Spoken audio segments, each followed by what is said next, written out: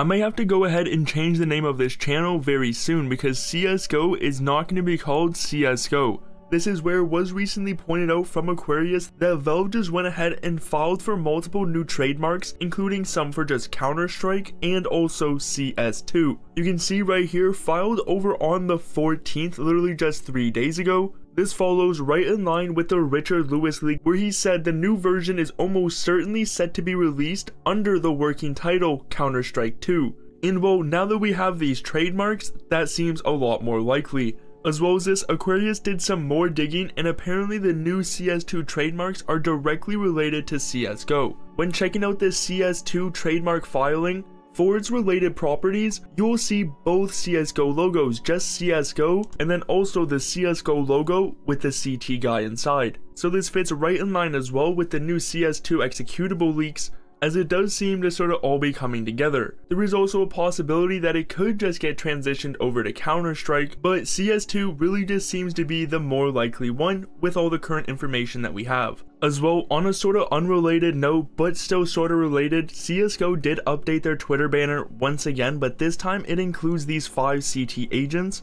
which I guess we will just have to wait until tomorrow to see if they remove one and this potentially could be a countdown into the new update.